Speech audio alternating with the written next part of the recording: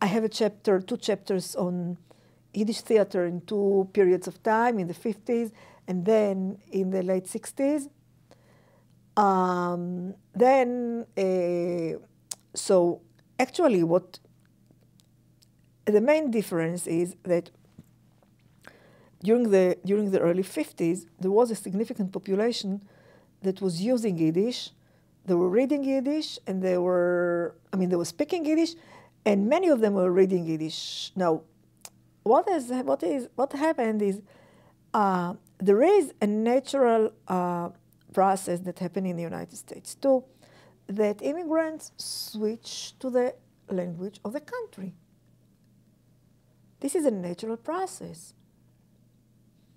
If they're not too old or if they don't have this ideology to adhere to their former culture, most of them, during the time, they switch to the, to the language of the, of the, con, of the country.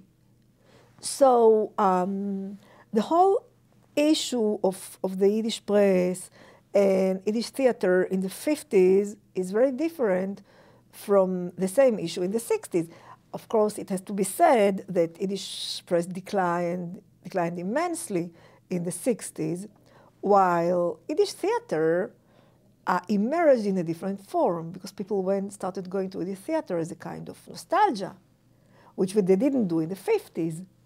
And again and again in the 80s, they started to have uh, a regular Yiddish theater. Now, uh, one of the things that I examine in the book is how Yiddish literature in translation was perceived in Israel, which uh, what I'm, I'm trying to argue that it's not only a question of language, it's also a question of, of, of substance.